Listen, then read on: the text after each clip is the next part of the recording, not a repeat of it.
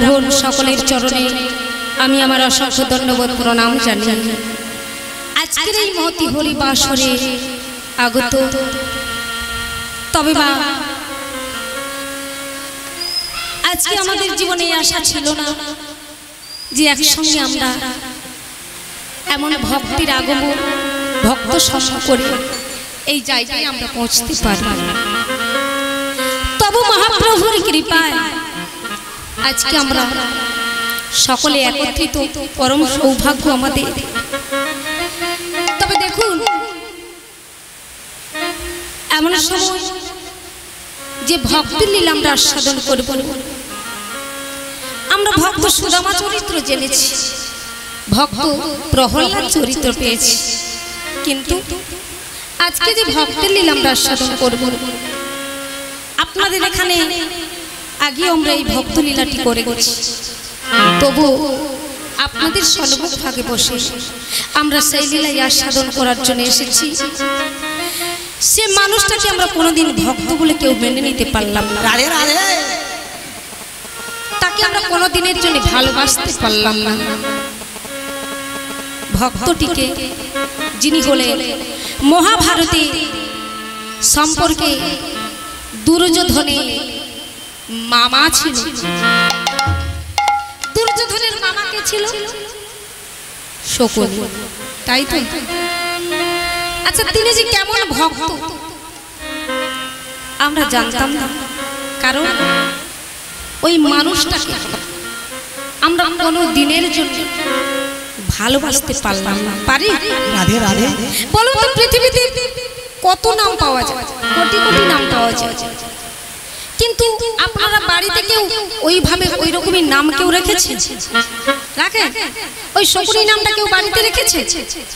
রাখে না, ওই আমরা কোনো দিনের পারলাম না।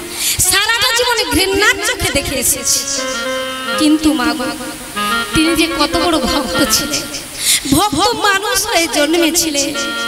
এই লীলার মধ্য দিয়ে আমরা এই লীলার মধ্য দিয়ে আমরা তত্ত্ব জানব তথ্য জানব। তৎকালীন দিনের পুরাণের মেয়ে ছিল সাবিত্রী। রাধে রাধে। যিনি তার মরা স্বামী সত্যবানকে জমের কাছ থেকে ফিরে এনেছে। আশা করি এই দিনে এমন কোনো মেয়ে নেই। স্বামী যদি একবার মারা যায় জমের কাছ থেকে স্বামীকে একবার ফিরে আনতে পারে। পারবে? পারে। তাহলে তৎকালীন দিনের পুরাণের মেয়ে ছিল সাবিত্রী। আচ্ছা এখনকার দিনে পুরাণের মেয়ে যেমন বলে কুন্তি দ্রৌপদী গান্ধারী তাই তো? তাদের মধ্য থেকে আমরা বেছে নেব গান্ধারীর চরিত্র। গান্ধারী কোন প্রকৃতির মেয়ে ছিলেন চোখে দেখতে পেত জগৎ। কিন্তু বান্তি একশোটা ছেলে পুলে তবুও মরার সময় এক ফোঁটা জল। কেন পেল না? এই লীলার মধ্যে দিয়ে আমরা আস্বাদন করব। পাপ তো ভারতবর্ষের মাটিতে ছেয়ে আছে পাপের রাজ্যত্ব এসেছে। দুর্যোধন দাপরের মানুষ, তিনি কত পাপ করেছিলেন? এই লীলার মধ্যে দিয়ে আমরা আস্বাদন করব। এখানে বাবা যাত্রা হচ্ছে না, নাটক, থিয়েটার, অন্য কিছু হচ্ছে না। এখানে হবে তিন চরিত্র নিয়ে আলোচনা। তবু লীলার একটা নাম বলতেই হয়। লীলার বিষয়বস্তু হলো দুর্যোধন বধ, অর্থাৎ শকুনির ধ্বংসযজ্ঞ। কীভাবে শকুনের কারণে দুর্যোধনের মৃত্যু হলো? এই লীলার পদ্ধতি আমরা আস্বাদন করব। যদা যদা হি ধরে মৎস্য গ্লানির ভবতি ভারত অপঠান ধরে মৎস্য, তদা মানসে জমহম পরিত্রাণায়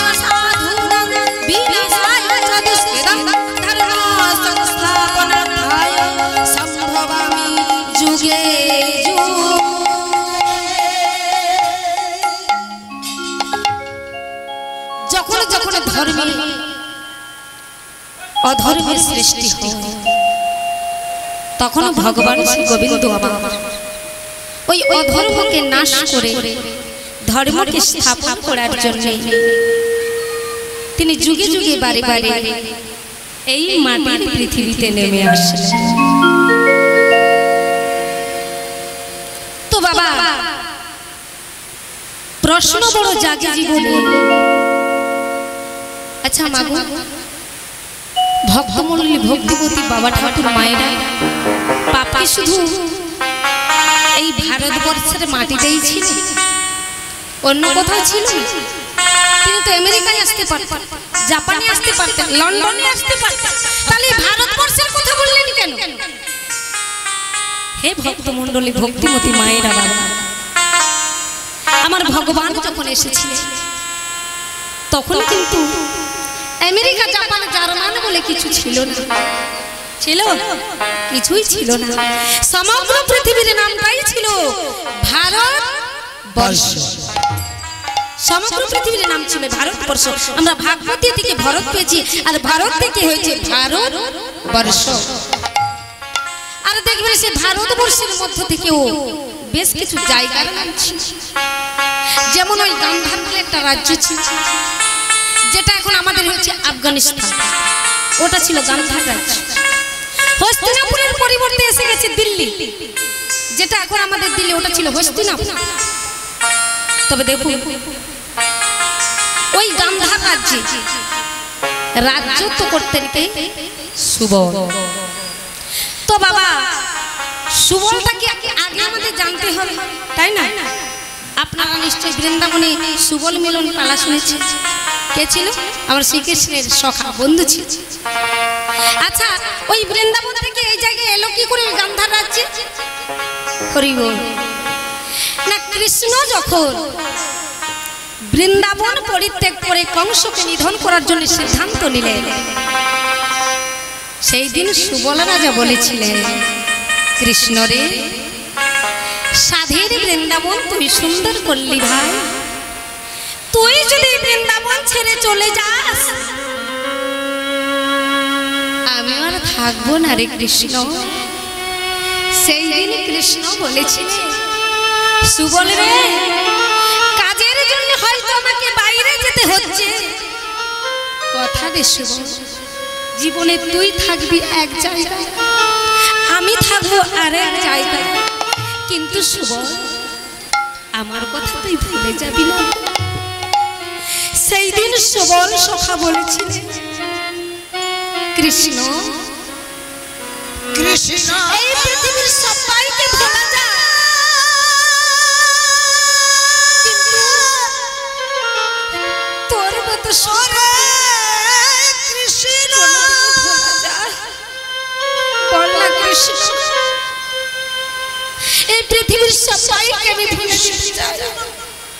কিন্তু কৃষ্ণ, তোর মতো সখাকে আমি কখনো ভুলতে পারি আমি কথা দিলাম।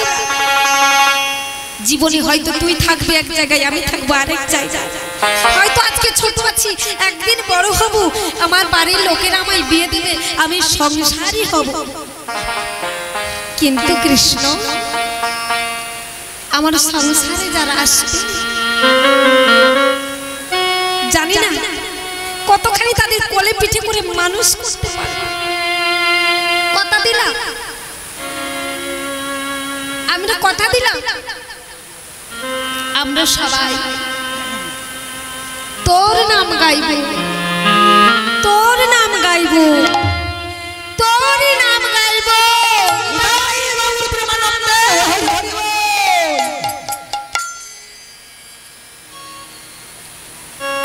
কৃষ্ণ বৃন্দাবন ছেড়ে মথুরায় চলে গেলেন কংসকে নিধন করার জন্য। আর আমার সুবল ওই জায়গা থেকে এই জায়গায় চলে এলেন, কোথায় না কান্ধার রাজ্যে।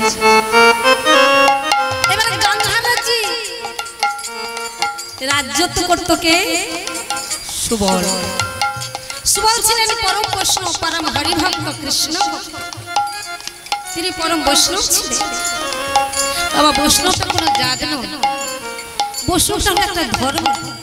আমরা যে জাতিতে থাকি না কেন, ওই ধর্মকে অবলম্বন করে আমরা বেঁচে থাকতে পারি। তিনি পরম বৈষ্ণব ক্রমে দিনে দিনে সুবল বড় হতে লাগলেন।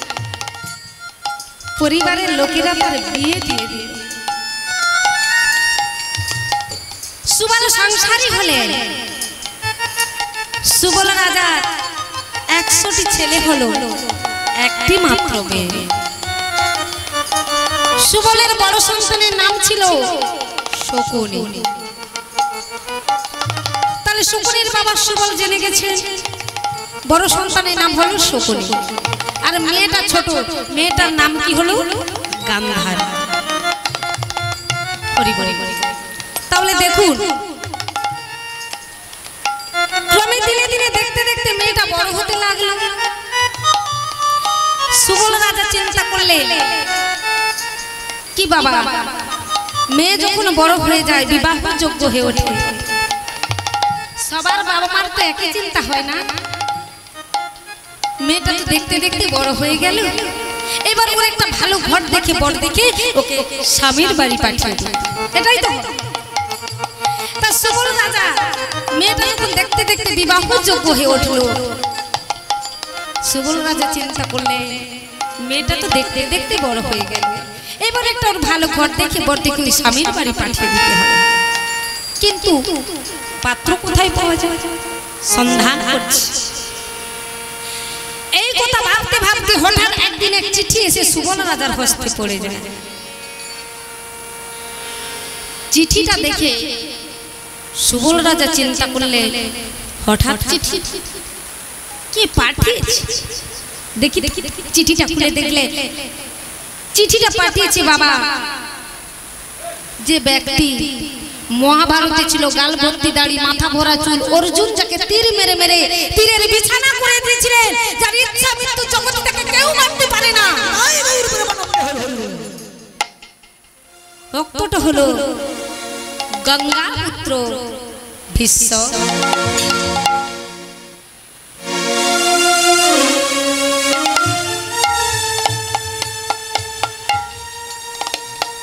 ভীষ্মের চিঠি সুবল রাজা পড়েছে।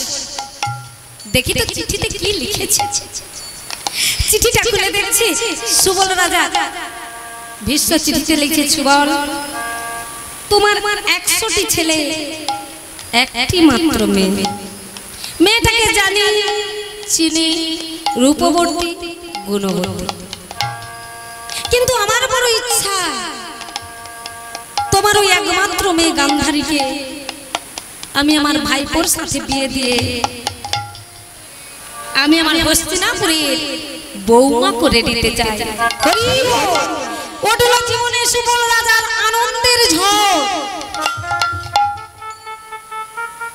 বলছি, আমার পরম সৌভাগ্য যে গঙ্গাপুত্র ভীষ্ম আমার মেয়ের সম্বন্ধ করে পাঠিয়েছে। এর থেকে আমার পরম সৌভাগ্য অন্য কোনো হতে পারে না। আনন্দের ঝড় উঠল সুবল রাজার জীবনে। কিন্তু মাগো সেই আনন্দ কতক্ষণ স্থায়ী? আমাদের জীবনে আনন্দের আনন্দ উল্লাস করি। কিন্তু একটু যদি আঘাত পেয়ে যায়, সারাটা জীবনের আনন্দে ভুলে গিয়ে শুধু দুঃখের কথাগুলো ভেসে ওঠে জীবন। তাই না?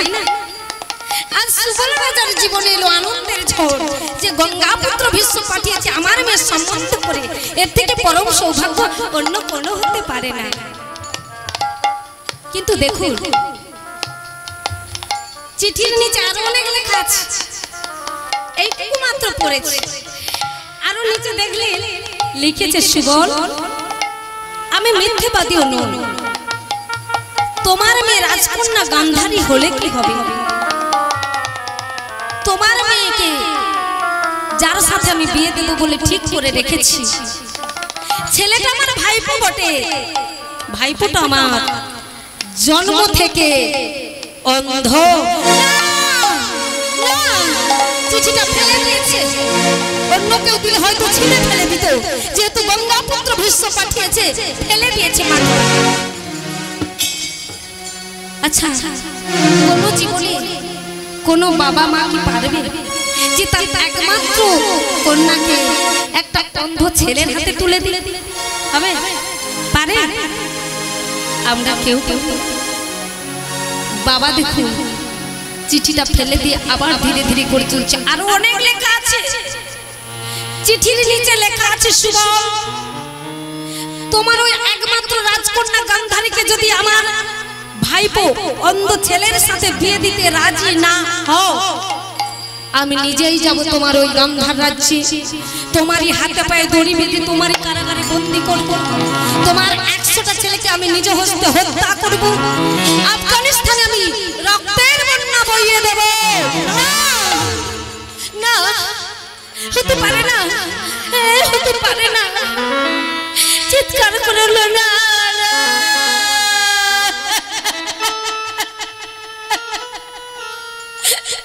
হতে পারে না? আমি যে বাবা।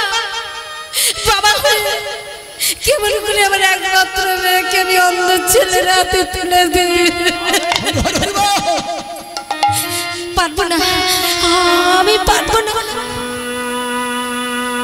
একদিকে পুত্রদের প্রাণ। যদি না মেয়েটাকে বিয়ে দিই অন্ধের সাথে, ছেলেরা মরবে। একদিকে রাজকন্যা গঙ্গা আমি বাবা। বাবা হয়ে আমি কোন পথে যাই? বলে দাও বলে দাও। উভয় সংকটে পড়লেন সুবল রাজা। একদিকে পুত্রদের প্রাণ, একদিকে কন্যা। বাবা উভয় সংকটে পড়ে গেছে। জীবনে কি বা চাই? কি বা নাকি মা? আমাদের তো সবার আশা থাকে। ছেলে মেয়েকে মানুষের মতো মানুষ লেখাপড়া শেখাবো। ওকে মানুষের মতো মানুষ করে তুলবো। কিন্তু দেখো, ক্ষণিক আঘাতে, একটু আগে জীবনে ছিল আনন্দের ঝড় ক্ষণিক আঘাতে, কেবল চিঠির কারণে এসে গেল তার জীবনে দুঃখের ঝড়। জীবনে কি বাজেছি? আর কি বাবা পেয়েছি? কি চেয়েছি আর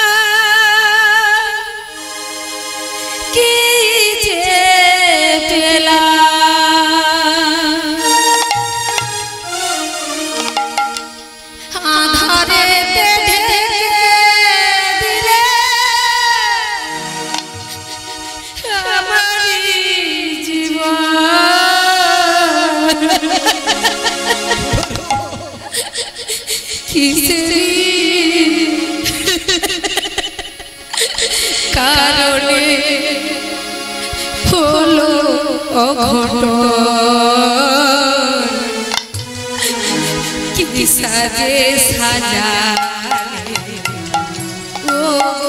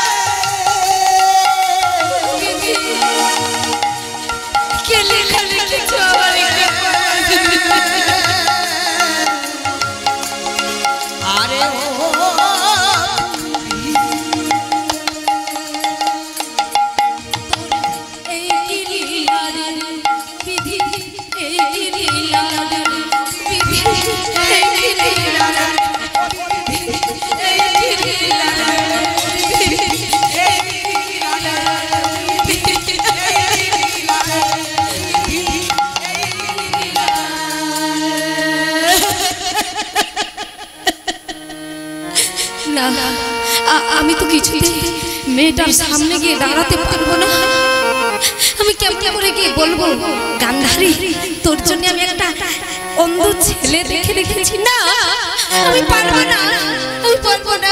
ছুটে গেলে ছুটে গিয়ে দরজার সামনে গিয়ে বলছে "এই, শোন শোনেরা আজ থেকে তোরা কেউ আমার ঘরে দরজা খুলবি না। আজ থেকে তোরা কেউ আমার ঘরে আলো জ্বালাবি না। এই আমি তোদের বলে গেলাম ছেলে মেয়েদের বলে অন্ধকার ঘরে প্রবেশ করলেন সুবল রাজা। অন্ধকার গৃহে প্রবেশ করে অন্ধকার বিছানায় পড়ে পড়ে কাঁদছে। মাগো, জীবনে আনন্দ এলে আমরা আনন্দ পাই, আনন্দ উপভোগ করি, তাই না? কিন্তু ক্ষণিক যদি দুঃখ এসে যায়, হাজার দুঃখের কথাগুলো আমাদের জীবনে ভেসে হ্যাঁ? অন্ধকার বিছানায় পড়ে পড়ে সুবল রাজা কাঁদছে, আর জীবনে দুঃখের কথাগুলোই তার ভেসে আসছে। গান্ধারীর মা যখন মৃত্যুকে বরণ করেছিল সেই দিন আমাকে বলেছে স্বামী গো আমার তুই একশোটি ছেলে একটি মাত্র মেয়ে। আমার ভাগ্যে তো হলো না। মেয়েটাকে যখন বিয়ে দেবে এই নাও সিন্ধুকের চাবি। ওই সিন্ধুকের সোনা দানা গহনা ঘাটি অলংকার পরিপূর্ণ রয়েছে।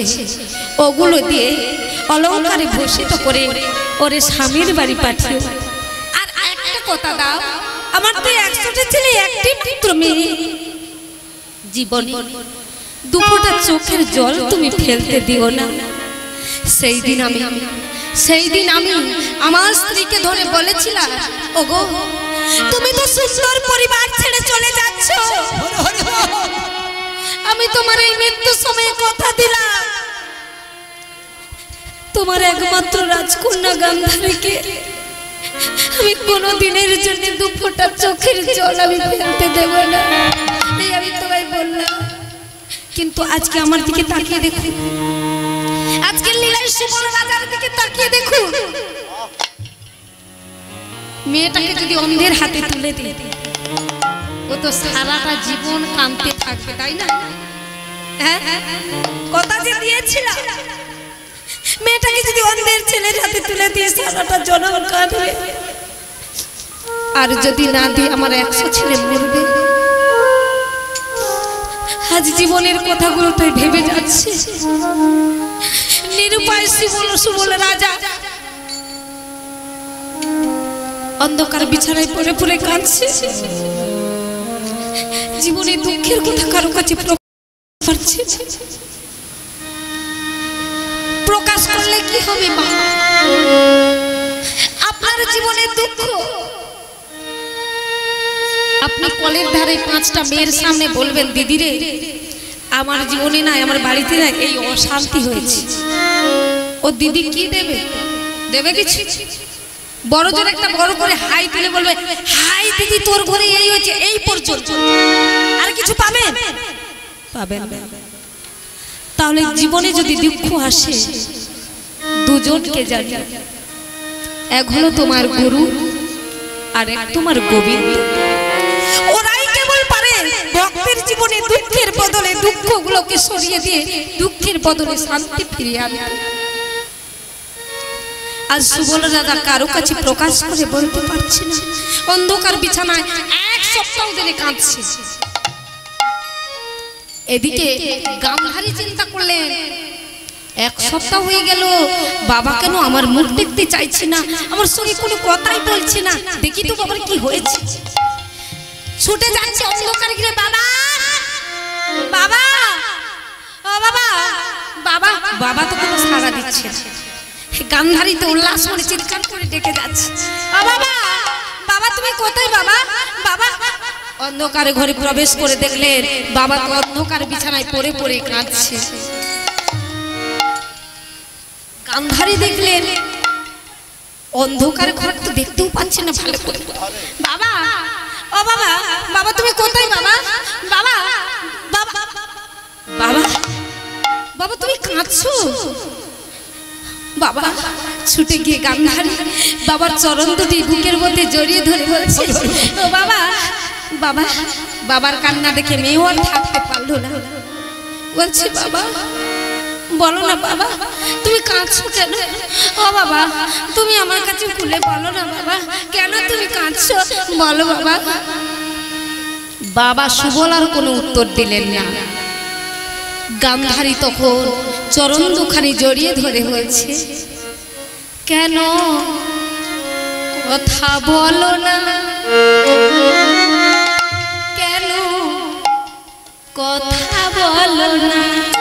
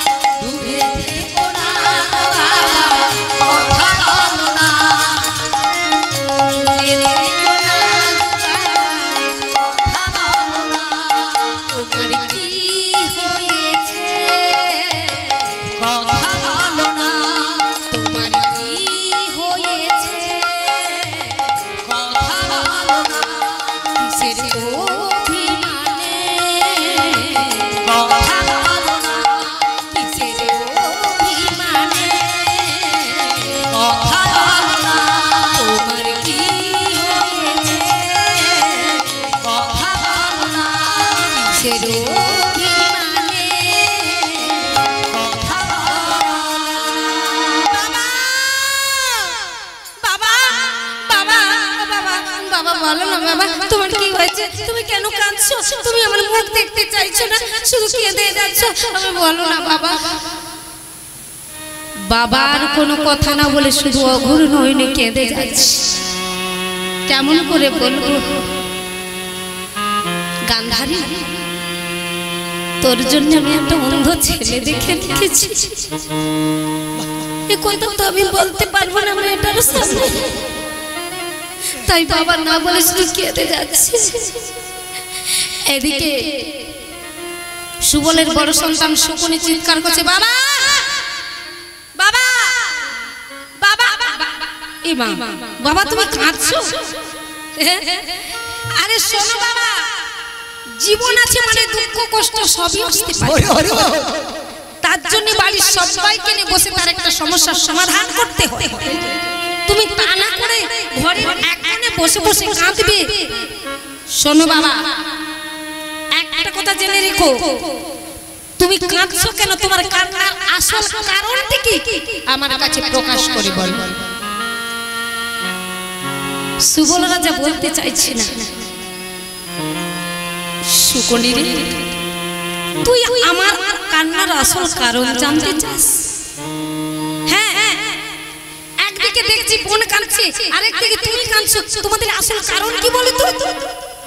কেন? একদিকে গান্ধারী কাঁদছে, একদিকে বাবা শকুনি মুখে কিছু না বলে শুধু বলছে শকুনি রে আমার কান্নার আসল কারণ হলো গান্ধারী দিকে দেখিয়ে দিলে। সঙ্গে সঙ্গে শকুনি বলছে গান্ধারীর দিকে দেখাচ্ছি বোনের দিকে কেন? এই বোন বোন তুই তুই বাবার সঙ্গে ঝগড়া করেছিস? হ্যাঁ? তুই বাবার সঙ্গে ঝগড়া করেছিস? গান্ধারী বলে দাদা রে এক সপ্তাহ হয়ে গেল বাবা আমার সঙ্গে কথা বলছে না। আমি কেমন করে ঝগড়া করব বল? জানিস দাদা আমি বাবা করে এত করে বললাম বাবা তুমি কেন কাঁদছো আমার একটা কথা শুনলো না আমার কিছুই বলতে চাইছে বল না দাদা। ও দাদা তুই আবার বল না বাবা কেন কথা বলছে না আমার মুখ দেখতে চাইছে বল না দাদা। রাধে রাধে। শকুনি বলে বাবা অন্য কারও কাছে না বলেও আমার কাছে তোমাকে বলতেই হবে কেন তুমি কাঁদছো? হরি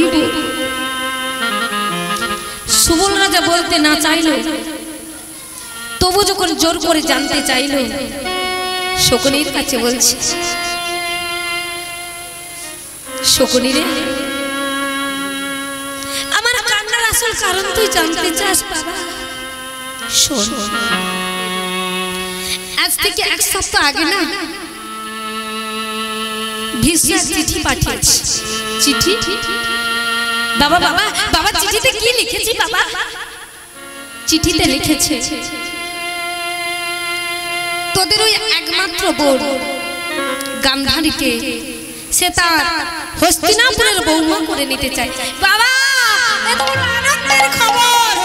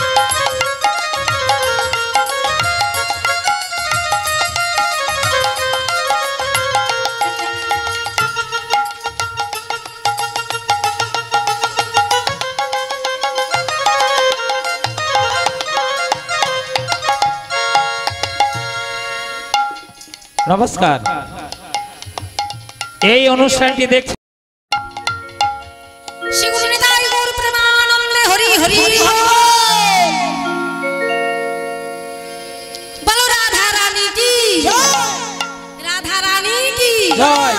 বলো গৌড়িয়া ভাগবত মহাপুরাণ কি? জয়। বলো মধুর হরিবাসর কি? জয়।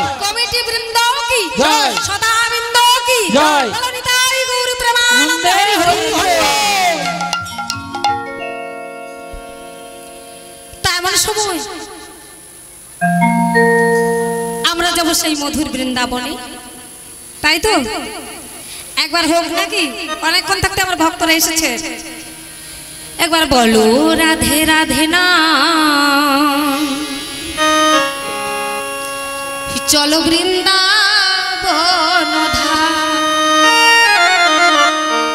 একবার বলো, রাধে রাধে না। চলো বৃন্দাবন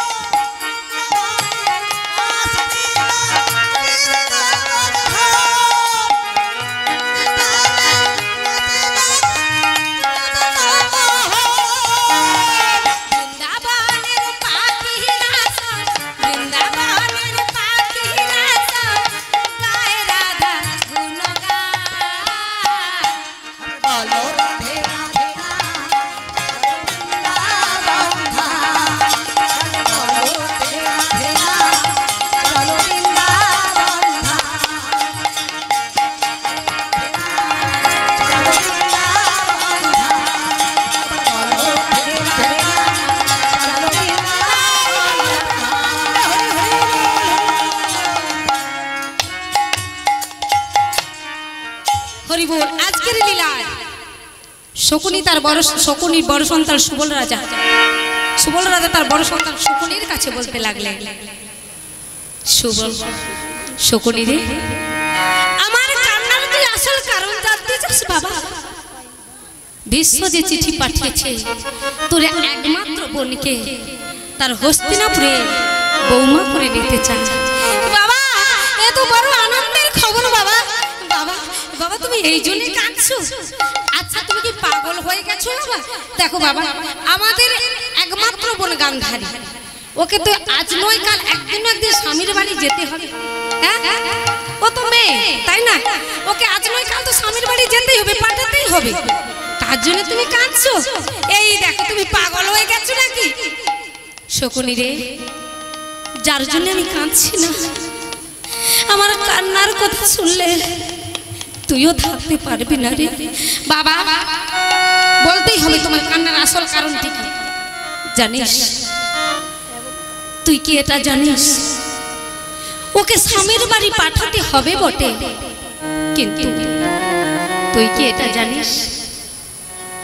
তোর একমাত্র বোন ভীষ্ম যার সাথে বিয়ে দেবে বলে ঠিক করে রেখেছে। ছেলেটা তার ভাইপো বটে। ভাইপোটা তার জন্ম থেকে অন্ধ। না! বাবা, তুমি ভীষ্মকে চিঠি লিখে স্পষ্ট জানিয়ে দাও। আমাদের একমাত্র বোন গান্ধারীকে ওই ওই অন্ধ ছেলের সাথে বিয়ে দিতে রাজি নয়। সুবল বলে, শকুনি আমিও তো বাবা, আমিও তো পারি না। কিন্তু আমি যে নিরুপায়, অসহায়। যদি অন্ধ ছেলেকে তোর বোনকে বিয়ে না দিস, তাহলে ও যে নিজেই আসবে আমাদের গান্ধার রাজ্যে। তোরা যে আমার একশোটা ছেলে ও যে নিজ হস্তে হত্যা করবে। আফগানিস্তানে যে রক্তের বন্যা বইয়ে দেবে না। না, বাবা, না। আমাদের প্রাণ যাই যাক। তবু আমরা আমাদের একমাত্র বোন গান্ধারীকে ওই অন্ধ ছেলেকে বিয়ে দিতে রাজি নয় যাও, তুমি বলে না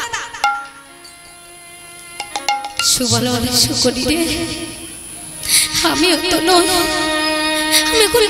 তুই উপায় করে বাবা। উপায় করে দে। আচ্ছা ছেলের মধ্যে যখন কথা হচ্ছিল, পাশে ছিল গান্ধারী। গান্ধারে কি বাবা কথাটা শোনেনি? ওই মুহূর্তে তার দোকান খোলা ছিল। আশা করি আজকের এই গরিব আসনে যদি কোনো ভক্তের দোকান বন্ধ হয়ে যায় হরি কথা যাবে বটে ব্যাকে ফিরে আসে। হরি হরি বল। সেই মুহূর্তে গান্ধারী ছিল পাশে তার ওই মুহূর্তে দোকান খোলা ছিল। বাবা ছেলের মধ্যে কথাটা শুনে নিয়েছে। শুনেই সঙ্গে সঙ্গে গান্ধারী এই প্রকৃতির মেয়ে সঙ্গে সঙ্গে এত বড় সিদ্ধান্ত নিলেন। আমি এমনই একটা মেয়ে। আমার জন্য আমার পরিবার বাঁচতে পারে। আবার আমার জন্য আমার পরিবার মরতেও পারে। না।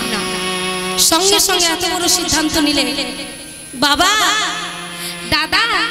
তোমরা কেঁদো না কেউ। তোমরা কেউ। কেঁদো না। দেখো বাবা শোনো। বিয়ে যদি আমাকে করতেই হয় আমি ওই অন্ধ ছেলেকেই বিয়ে করব। ওরে। সঙ্গে সঙ্গে মাগো। গান্ধারী যখন এই কথাটা বললে বাবা তো বলছিস গান্ধারী? তুই এত বড় সিদ্ধান্তটা নিলে কি করে? না হতে পারে না মা। তুই ফিরে নে। তোর এত বড় সিদ্ধান্ত আমি মেনে নিতে পারছি না। বাবা তুমি জন্ম দিয়েছ। দাদা তোমরা বড় করেছ। শুনে রাখো বাবা। আমি এমনই একটা মেয়ে। আমার জন্য আমার পরিবার বাড়ছে আবার আমার জন্য আমার পরিবার মরতেও পারে। তাই আমি তোমাদের সেই ঋণ পরিশোধ করার জন্য আমি আমার নিজের জীবনটাকে আজ থেকে ওই অন্ধকার সাগরে ভাসিয়ে দিলাম। না না গান্ধারী না এত বড় তুই সিদ্ধান্ত নিতে পারিস না মা। না বাবা। শোনো আর বেশি দিন নয়। তিন দিনের মধ্যে আমি বাড়ি ছেড়ে চলে যাব। জানো বাবা আমার শর্ত তিনটে রয়েছে। আমি চাই না যে ওই অন্য ছেলে নিজেই এসে আমার গলায় মালা দিয়ে আমাকে স্ত্রীরূপে গ্রহণ করে আমি নিজেই যাব গান্ধারা হস্তিনাপুরে। আমি নিজেই হস্তিনাপুরে গিয়ে ওই অন্ধ ছেলের গলে মালা দিয়ে আমি আমার তাকে স্বামীতে বরণ করে নেব।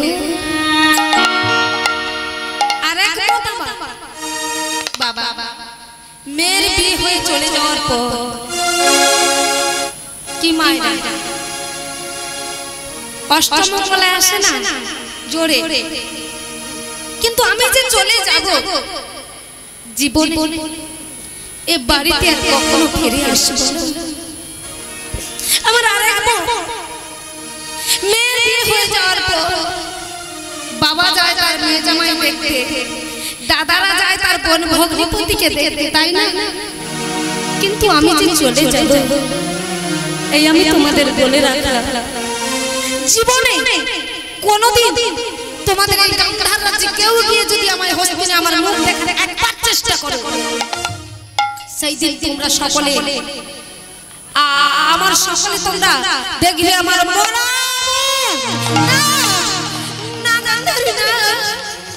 তুই পারিস তুই পারিস না। আমি দেখতে দেখতে দুদিন হয়ে গেল, তিন দিনে পড়ে গেল। এই মুহূর্তে চলে যেতে হবে। বাবাকে গিয়ে প্রণাম করছি, বাবা।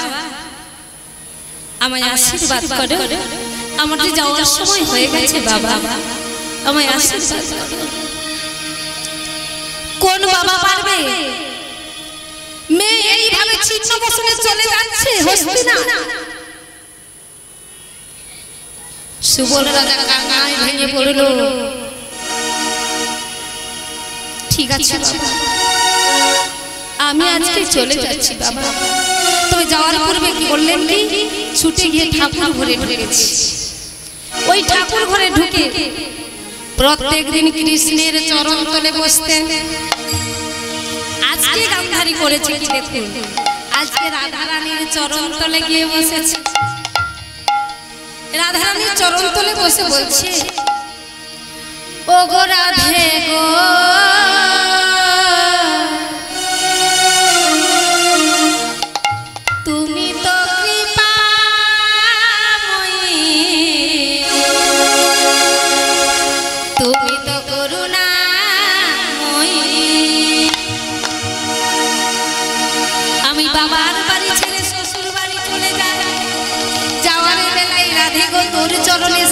নিবেদনে জানিয়ে যাই আমার বাবা যখন মৃত্যু সময় ছটফট করতো এক ফোঁটা জলের জন্য, তুই আমার মতো হয়ে আমার বাবাকে একটু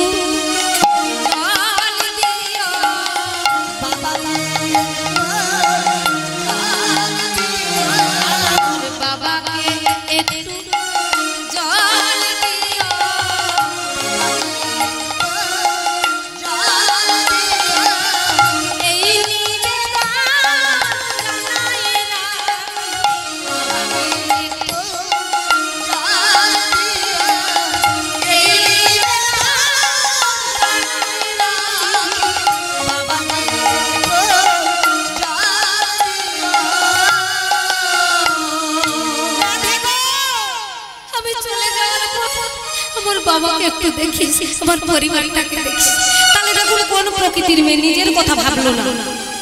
যারা নিজের জন্য মনে দেয় না, কোনো প্রাণ জগৎ সংসারে দেখো তাদের নাই কোনো সম্মান। যারা দেশের আর দশের জন্য দিয়েছিল প্রাণ, জগৎ সংসারে দেখো তাদের আছে কত সম্মান। মেদিনীপুরের ছেলে বীর ক্ষুদিরাম বোস অল্প বয়সে গলায় ফাঁসির দড়ি ঝুলে নিয়েছিল এখনও পর্যন্ত সেই স্বাধীনতা দিবসের দিন পেলে আমাদের মেদিনীপুরেও যে গানটা বাজে হাওড়া জেলাতেও সেই গানটা বাজে। একবার বিদায় দে মা ঘুরে আসি হরি হরি হরি। তাহলে দেখুন নিজের জন্য ভাবলো না। বলছে রাধে তুই আমার চলে যাওয়ার পর আমার পরিবারটাকে দেখিস আমার বাবাকে দেখিস। আজকে চলে যাবে যারা পালকি দিয়ে এসেছি বাবাকে প্রণাম করেছে, একশোটা দাদাকে প্রণাম করেছে। বাকি রইল তার একটি প্রণাম। কি? আমার মায়েরা ভালো করে জানে, নাকি মায়েরা? মেয়েদের বিয়ে হয়ে শ্বশুর বাড়ি চলে যাওয়ার বেলা সবাইকে আমরা প্রণাম করি। বাকি সর্বশেষে আমাদের জন্ম ভিটে বাস্তুদেবী রয়েছে। ওই বাস্তুদেবীকে আজকে লীলায় গান্ধারীও প্রণাম জানাচ্ছি। বাস্তুদেবী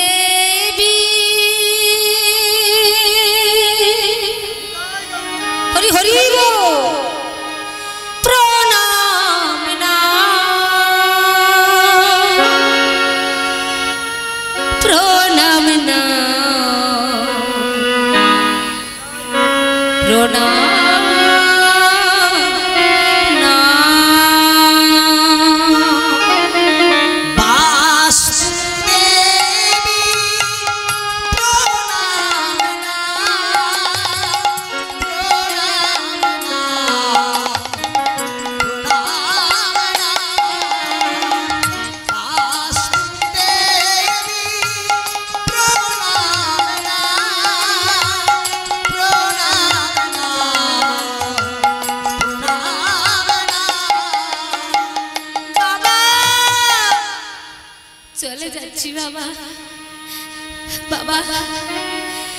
আর আসব না। ফিরে